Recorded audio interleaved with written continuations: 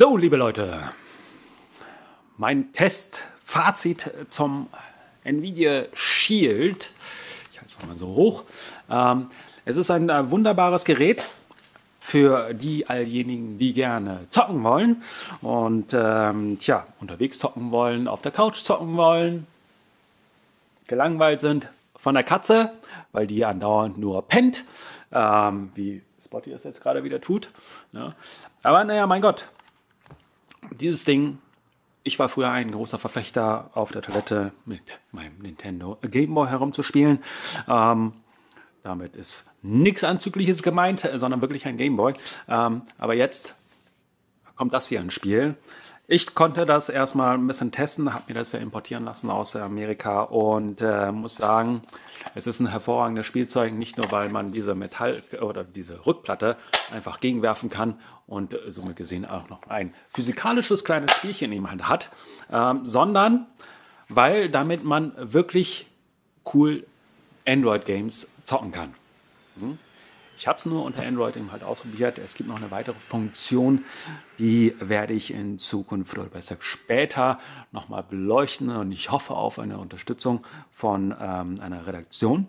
Hm, noch wird sie nicht verraten. Ähm, aber auf alle Fälle, der Controller liegt satt in der Hand und man kann damit wirklich zocken. Anders als wenn man zum Beispiel mit einem Tablet zocken würde, zum Beispiel einem ähm, iPad oder eben halt anders gearteten ähm, Gamepad, äh, äh, Tablet. Da müsste man ja ständig auf dem Display herumwischen, um eben halt die Knöpfe zu drücken. Und ich bin kein Fan von virtuellen äh, Gedrücke auf einem Bildschirm. Ich brauche eher physische Buttons, Analogsticks, Triggers, Trigger, mit denen man ihm halt viel dosierter zum Beispiel Gas geben kann. Ähm, ja, so gesehen, physisch und haptisch ist natürlich eine Bombe. Ähm, leider, das kann man auch sehen, sind momentan noch nicht so viele Spiele, die eben halt Nvidias Shield unterstützen. Da sorgt Nvidia selber schon etwas dagegen und zwar haben sie nämlich die SDK eben halt Open Source gemacht und so, dass jeder eben halt das eben halt programmieren kann oder eben halt seine Spiele eben halt anpassen kann an die ganze Shield Hardware. Leistungsmäßig ist das auch eine Bombe.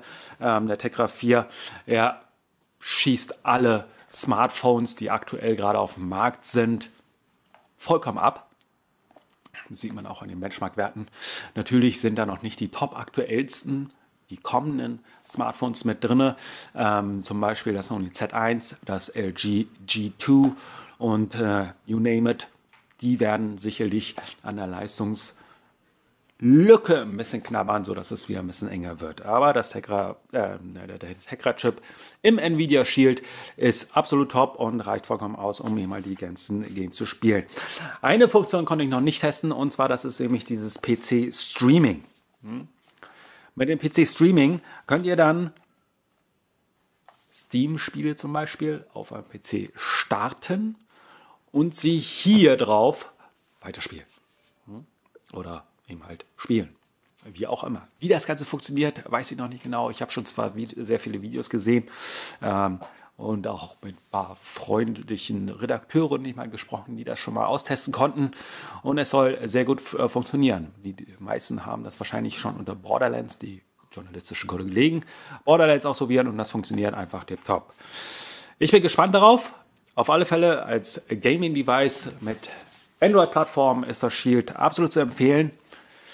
Bisschen blöd ist es dann, wenn man auf Webseiten hin, äh, herumsurft und man dann, den Touchscreen nämlich verwenden müsste. Upsala. Oh, oh, oh, oh. Jetzt schreit er hier schon nach mir.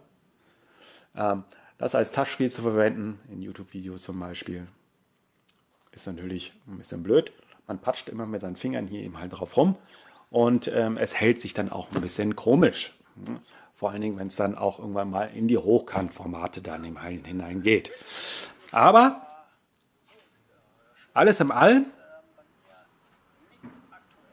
super Gerät und als portables Device absolut gut zu gebrauchen. Man kann es sich auch vorstellen, dass man dann vielleicht die Katze ein bisschen unterhält, indem man ihr das einfach so hinhält und da irgendwelchen hat.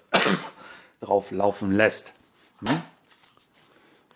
Mein Fazit, nochmal wiederholt, Nvidia Shield Absolut geiles Produkt. Man kann es kaum abwarten, dass es auch in Deutschland erhältlich ist. Oder ihr geht jetzt momentan eben halt den Umweg, dass ihr es aus Amerika importiert. Das ist ja mittlerweile auch möglich. Ähm, alle weiteren Informationen zum Shield und auch den ausführlichen Testbericht nur als Android Gaming Device nochmal zu erwähnen, gibt es natürlich bei mir auf der Webseite unter gadgetmagazin.de.